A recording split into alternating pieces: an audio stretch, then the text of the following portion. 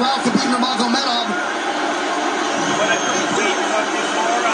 Well, Khabib wasn't kidding when he said no handshake after the fight. Oh! Who is this? What the fuck? Nurmagomedov teammates throws a right-handed counter. Oh, hell What is happening? This is crazy. Is this wrestling? Is this fucking? WWE?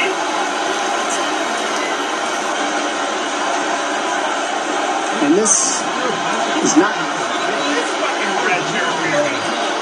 Well, this is This is not something we're going to like. Nothing we're going to condone. It's not something we want to promote. This is not professionalism, but it is the fight game to an extent. This is It can get nasty. It's, This this is the nastiest I've ever seen. yeah, this is not how you want it to be in this sport. This is not how we want to represent ourselves. jumping out of the octagon like that and attacking someone in the crowd.